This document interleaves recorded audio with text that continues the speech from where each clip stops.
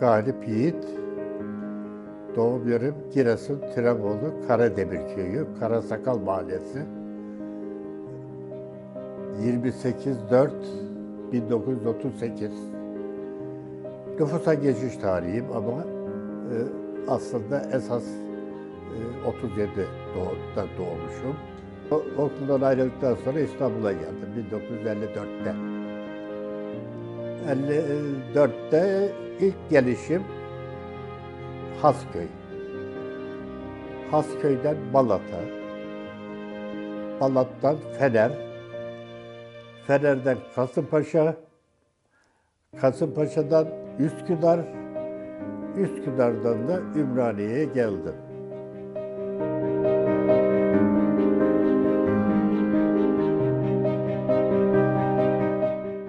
Ümraniye'ye şöyle geldim. Ee, bir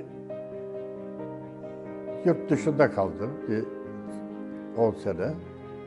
Almanya'da. Efendim, e, Kasımpaşa'da da evim vardı. Üsküdar'da da vardı. Arsalar vardı. Toparladık, toparladık ama ev önüne park edecek, araba park edecek yer yoktu yani. Onun için serbest yere gideyim diye Ümraniye'ye geldim. Müstakil üç katlı bir ev aldım. Efendim, orada devam ederken ondan sonra ne yapayım? 42 yaşında emekli oldum. Boşuna şey olmaz dedim ve inşaata başladım. İnşaat işlerine. Şu oturduğum ev 14. bina.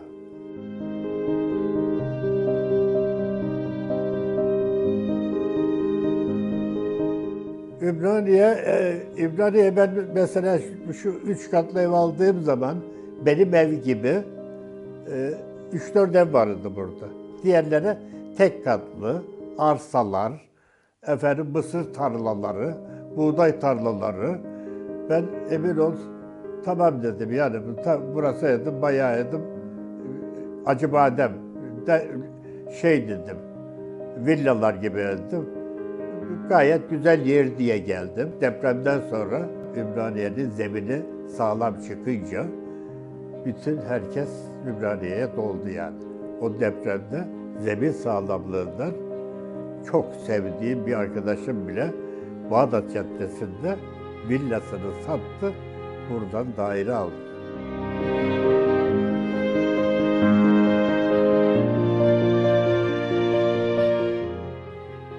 Gençlere birinci tavsiyem şu, mesela, mesela okusun.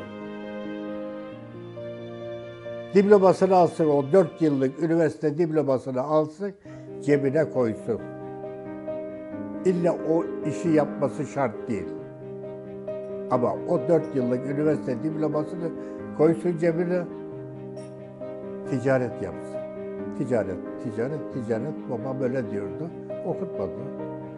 Sekiz kardeş içinde üniversite bitiren yok. Tabii, yok yani.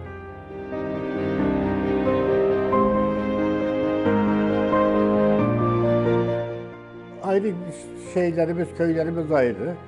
Karşı karşıya yalnız. Baktığımı görüyoruz. Ablam, onların köyünde evli. Ablamın vasıtasıyla tanıştık. Rahmetli oldu ablam da. Onun vasıtasıyla tanıştık. Evliliğimiz o şekil oldu. 67 sene oldu evlenelim. 6 tane çocuk var. 20 tane torun var. 23 tane de torunu çocuğu var.